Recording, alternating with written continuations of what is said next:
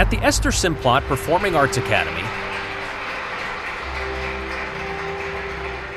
Sorry, I want to do one thing. The members of Ballet Idaho Center, can you move in a little closer? are moving through their last moments of rehearsal. And do the curtsy in here. And Peter Anastos And then the same thing when they turn to your side, you want to move. I just want to get you not to be so far away. is the company's artistic director.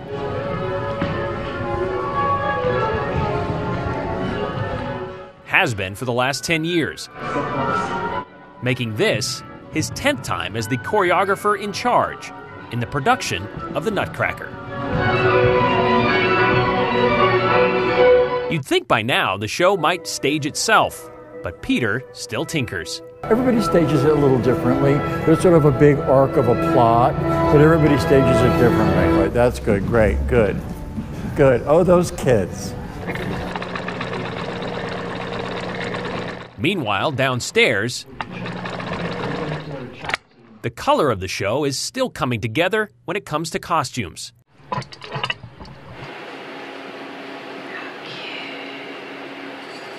Costume director Carrie Fitch is putting the finishing touches on one of the marzipan dresses. Let's see if she's gonna fit. Nearby, her assistant, Nicole Gould, knows the work they do these last hours Oh, yeah. is huge. Especially since I'm currently trying to mess with the Nutcracker right now. Namesake or not, it's just one of the 200 outfits covering 17 racks. Carrie and her staff have had to conform each costume to the current cast, including masks, headpieces, and hats. Um, shoes, accessories. I'm probably happier not doing an actual physical count. I think I'm probably at around 500 pieces right now.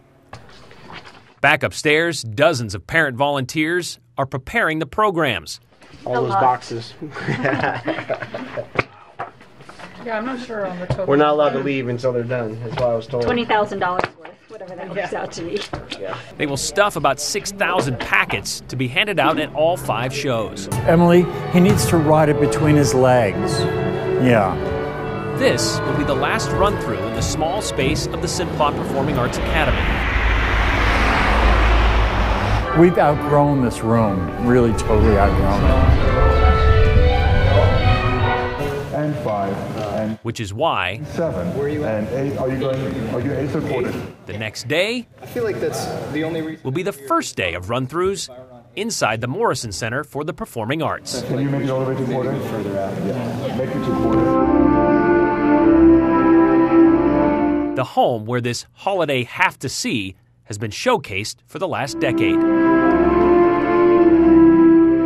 A stretch that could be credited to Peter starting from scratch. There was nobody here. You know, that's what that was sort of the appeal for me was that, you know, AJ Balukoff was our board chair then, and he said, "Well, Peter, we don't have any scenery, any costumes, or any dancers. How would you like a job?" Since then, production has grown to include two dozen professional dancers and more than a hundred Academy kids. Those first few years, Peter used to watch from the wings. But after a while, you get sick of seeing the ballet from sideways. it's nice to see it from the front. And also from the front, it's, it, you can better tell how it's going. Now, seeing the show while sitting in the house doesn't mean Peter can completely relax and just enjoy well, it's it. Great. I mean, it's thrilling. It's really nice. It, it's very, very nice. It's a good, warm feeling. But I don't know. I, I don't know if other people think this way. I still white knuckle every performance because you so many things can go wrong, especially with Nutcracker, which is complicated. You know, a big show like this, there's lots of moving parts and big, heavy moving parts. all these rails, all these ropes, they're all responsible for um, for pulling for pulling the wings up and pulling the furniture out. And there's somebody in the bed right now that's making it do that. I don't know if I should say that though. That's the magic. You're not supposed to know that. Adrian Kerr is one of the Nutcracker's original cast members. A principal dancer who's played the Snow Queen for the last six years. She knows what happens offstage makes her and the other dancers' parts on stage seems seamless. Do you want to light all the legs and borders the way the upstage ones are lit? With that really hot, nice, great blue. Yeah, yeah, I'm kind of working from upstage to outstage. Okay. Yeah. Um, can you 201 at full?